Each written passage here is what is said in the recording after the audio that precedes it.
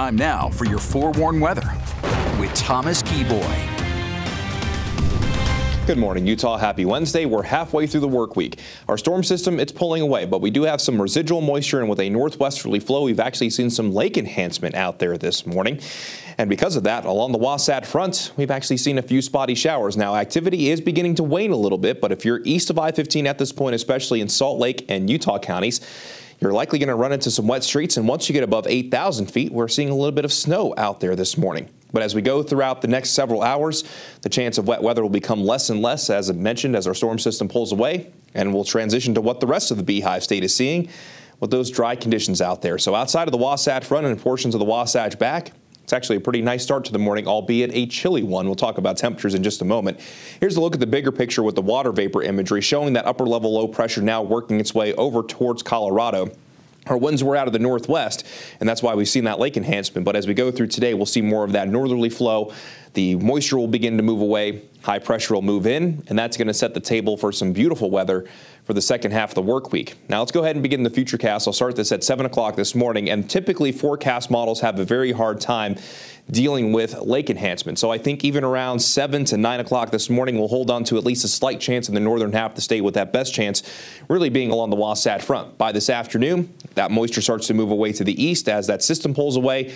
Then we'll be looking at mostly sunny to partly cloudy skies across the Beehive state with temperatures well below our seasonal averages, but a little bit warmer than the last few days.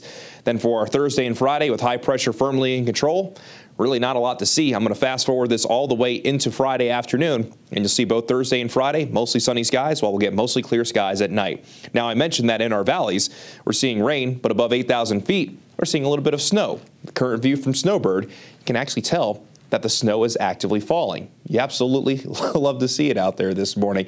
Can't wait to see what the mountains look like out there this morning in the Wasatch. Meanwhile, down in St. George, it's as calm as you would like. You're not going to find any issues as you head off to work or school down in St. George, but you might even want the sweater as you're currently sitting at 53 degrees, but I would classify that as comfortable while Cedar City, we're currently waking up to a temperature of 38. It's 49 degrees in Provo, 50 degrees in Salt Lake, and we're currently sitting at 49 degrees in Logan. Now, for portions of southwestern Utah and through the Sanpete Valley in central Utah, we do have a freeze warning that's currently in place through 9 o'clock because over the next hour or so before we get to sunrise, we could see some spots see those temperatures drop as low as 28 degrees. So if you're waking up in portions of Beaver County, Iron County, and in the Sanpete Valley, you definitely might want the jacket as you head out the door this morning. When it comes to our afternoon highs today, well below our seasonal averages, but warmer than what we saw on Monday and Tuesday, with northern Utah mainly checking in in the 50s and 60s. While down in southern Utah, I think it's going to be an absolutely beautiful day under mostly sunny skies with daytime highs generally in the 60s and 70s. We'll go ahead and zoom things in here for a better perspective, and this will show you your daytime high today and your overnight low tonight. Along the Wasatch front, it's low 60s, while on the Wasatch back, highs ranging anywhere from 55 in Park City to 63 in Heber. And by tonight in the Heber Valley, we could drop close to freezing tonight at 32 degrees.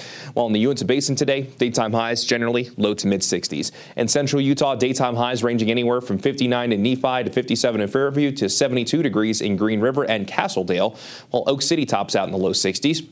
Then down in southern Utah should be an absolutely beautiful day if you want to go check out the hoodoos at Bryce Canyon with the daytime high of 60. Zion National Park probably pretty nice with the daytime high in the upper 70s like St. George at 79. And Monticello will see a daytime high check in at 62. Here's the high temperature trend in Salt Lake City over the next few days where we're going to be well below average once again today. Then with that warming trend with high pressure in place, we should be very close to our seasonal averages by Friday. Then Saturday and Sunday, we're still sticking with the sunshine. By that point, though, Daytime highs will likely be a little bit above our seasonal averages, which should be absolutely beautiful.